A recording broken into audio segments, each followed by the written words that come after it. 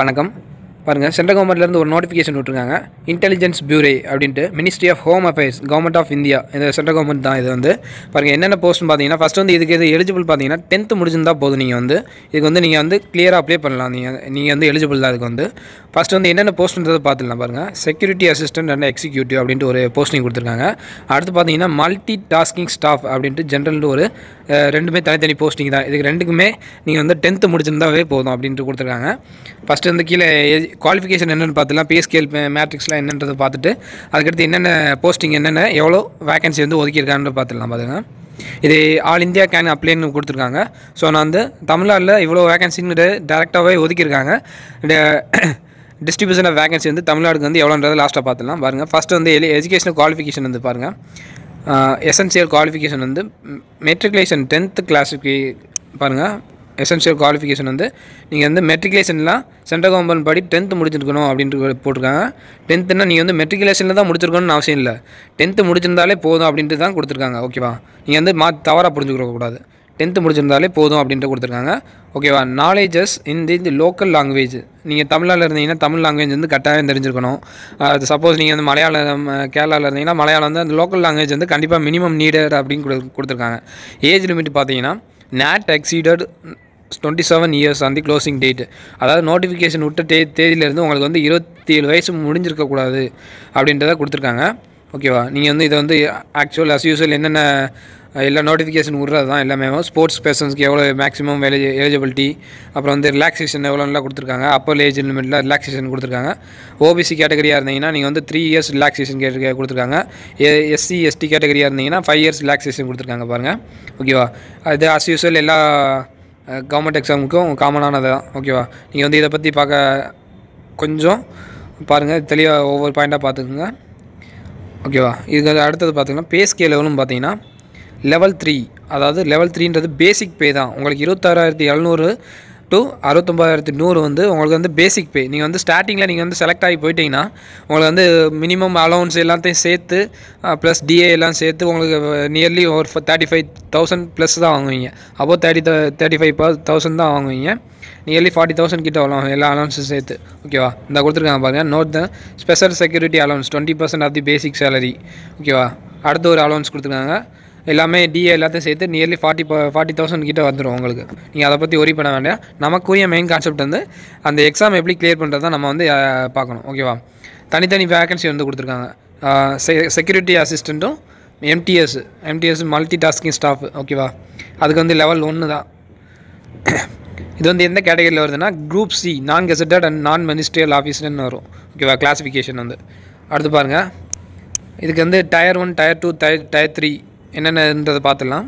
First வந்து tier scheme of the examination கொடுத்துருக்காங்க பாருங்கள் டயர் ஒனில் வந்து டயர் ஒனில் ஆன்லைன் எக்ஸாமினேஷன் ஆன்லைன் எக்ஸாமினேஷன் தான் கம்ப்யூட்டர் பேஸ்ட் எக்ஸாமினேஷன் எப்படி இருக்குன்னா twenty questions are in one mark general எப்படி இருக்குன்னா நூறு கொஸ்டின்ஸ் வந்து ஒன் ஹவர்னா இருக்கும். என்னென்ன இருக்குன்னா general awareness quantitative aptitude numerical ability English language general studies நம்ம அஸ் யூஸ்வல் என்ன எக்ஸாமுக்கு நம்ம காம்படேட்டிவ் எக்ஸாமுக்கு என்ன படிக்கிறோமோ அதே தான் கொடுத்துருக்காங்க நீங்கள் வந்து. ஜி ஜிகே கொடுத்துருக்காங்க நியூமரிக்கல் எபிலிட்டி கொடுத்துருக்காங்க mental ability sorry quantitative aptitude கொடுத்துருக்காங்க மேக்ஸ் கொடுத்துருக்காங்க ஜென்ரல் ஸ்டடீஸ் கொடுத்துருக்காங்க. பாருங்கள் கீழே வந்து negative marks for one by four marks வருது ராங் ஆன்சர் அதாவது ஒரு மார்க்குக்கு நீங்கள் வந்து ஏதாச்சும் ஒரு கொஸ்டின் தவறு பண்ணிட்டீங்கன்னா அந்த ஒரு மார்க்கும் போகும் ப்ளஸ் அந்த நெகட்டிவ் மார்க் வந்து பாயிண்ட் டூ ஃபைவ் மார்க் ஒரு ஒன்றில் ஒன்று பை நாலுனா பாயிண்ட் டூ ஃபைவ் மார்க்ஸும் போகும். அப்போ ஒன்றேகால் மார்க் வந்து உங்களுக்கு ஒரு கொஸ்டின் தப்புனா அதை ரெடியூஸ் பண்ணிடுவாங்க ஓகேவா அடுத்து டயர் டூவில் பார்த்தீங்கன்னா பாருங்க.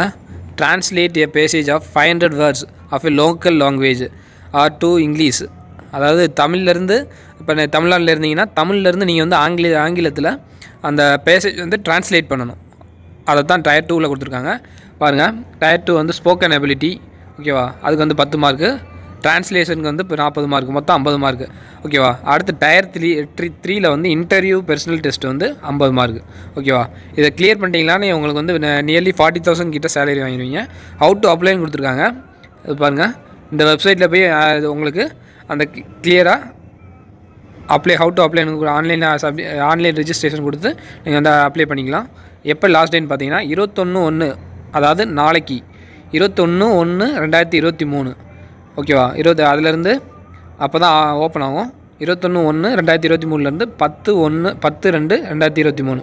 ஓகேவா அடுத்த மாதம் பத்தாம் தேதி வரைக்கும் இந்த நோட்டிஃபிகேஷன் வந்து ஓப்பனில் இருக்கும். நீங்கள் வந்து ரிஜிஸ்டர் பண்ணிக்கலாம். கண்டிப்பாக வந்து பண்ணிடுங்க இதுக்கு வந்து அவ்வளோ காம்படிஷன் இருக்காது. ஸோ நீங்கள் வந்து டென்த்து குவாலிஃபிகேஷன் தான். ஓகேவா எக்ஸாமினேஷன் ஃபீஸ் கொடுத்துருக்காங்க பாருங்கள் ஃபீஸ் வந்து ருபீஸ் ஃபிஃப்டி ருபீஸ் ஓகேவா it is a components examination fees of fifty recruitment processing charge நானூற்றம்பது ஓகேவா மொத்தத்துக்கு ஐநூறுரூவா கொடுத்துருக்காங்க. ஐநூறுரூவா வந்து fees all candidates male candidates are general and OBC categories categories ஓகேவா fees paid to recruitment charges examination fees வந்து ரெக்யூமெண்ட் ப்ராசஸிங் சீஜ் சார்ஜஸ் அப்படின்னு கொடுத்து கீழே வந்து கொடுத்துருக்காங்க. நீங்கள் அதை பார்த்துக்குங்க. அதே ரிசர்வேஷன் அடிப்படையில் உங்களுக்கு வந்து கண்டிப்பாக கேட்டகரி வைஸாக ஒவ்வொரு பேமெண்ட் மோடு வந்து கம்மியாகும். மோட் ஆஃப் பேமெண்ட்டும் கொடுத்துருப்பாங்க பாருங்கள் ஆன்லைன் அண்ட் ஆஃப்லைன் மோடு கொடுத்துருக்காங்க. ஆன்லைன் ஆர் ஆஃப்லைன் மோடு நீங்கள் வந்து ஆன்லைனில் பெட்டர் கட்டிக்கிறது நல்லது. ஓகேவா அடுத்து பார்ப்போம். ஆ லா க்ளோசிங் டேட் எப்போன்னு கொடுத்துருக்காங்க பாருங்கள் க்ளோசிங் டேட் வந்து நீங்கள் வந்து கண்டிப்பாக தெரிஞ்சுக்கணும். பத்து அடுத்த மாதம் பிப்ரவரி மாதம் பத்தாந்தேதி ரெண்டாயிரத்தி இருபத்தி மூணு. அதோட க்ளோஸ் ஆகும். நீங்கள் வந்து லாஸ்ட் டேட் வரைக்கும் வெயிட் பண்ண வேணாம்.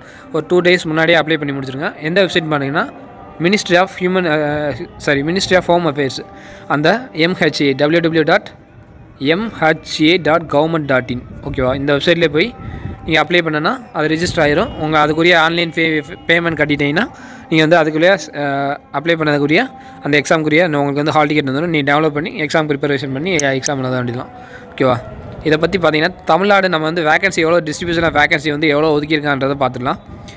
ஒவ்வொரு இதை வந்து ஆல் இந்தியன் கேன் அப்ளைன்னு தான் கொடுத்துருக்காங்க. பாருங்கள் என்னென்ன போஸ்ட் தான்? Security assistant security assistant and executive multi tasking staff ஓகேவா இது வந்து ரெண்டாயிரத்தி இருபத்தி ரெண்டு எதுக்கு கொடுத்துருக்காங்கன்னா ரெண்டாயிரத்தி இருபத்தி ரெண்டில் நோட்டிஃபிகேஷன் பண்ண வேண்டியது டிலே ஆகி ரெண்டாயிரத்தி இருபத்தி மூணில் நோட்டிஃபிகேஷன் பண்ணியிருக்காங்க. ஓகேவா ரெண்டாயிரத்தி இருபத்தி ரெண்டில் ஆக்சுவலாக இது ரெண்டாயிரத்தி இருபத்தி ரெண்டில் நோட்டிஃபிகேஷன் பண்ண வேண்டியது.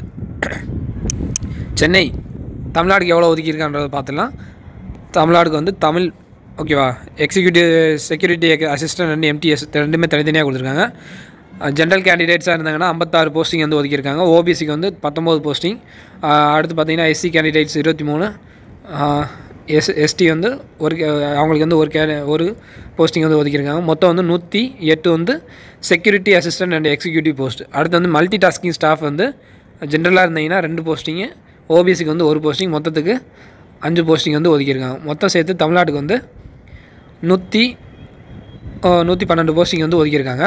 ஓகேவா இது வந்து ஆல் ஓவர் த இந்தியா லெவலில் பார்த்தீங்கன்னா எது டோட்டலாக எவ்வளோ வேகன்சி வருதுன்னா ஆ கிட்டத்தட்ட ஆயிரத்தி அறநூறு வேகன்சி கிட்ட வருது.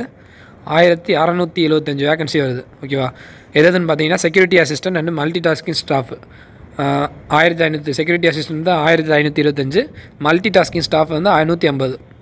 ஓகேவா? இது வந்து டென்த் லெவல்ஸ் குவாலிஃபிகேஷன் தான். நீங்கள் வந்து ஈஸியாக நல்லா படித்து அப்ளை பண்ணலாம். ஓகேவா? நல்லா இது முயற்சி முயற்சி பண்ணுங்கள் எக்ஸாமுக்கு நல்லா படிங்க. ஓகே தேங்க்யூ அடுத்த வீடியோவில் பார்ப்போம்.